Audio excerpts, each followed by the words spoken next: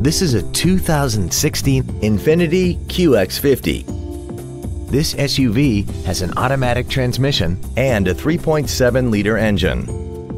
All of the following features are included. Traction control and stability control systems, leather seats, body side reinforcements, an anti-lock braking system, a push-button ignition, and a trip odometer.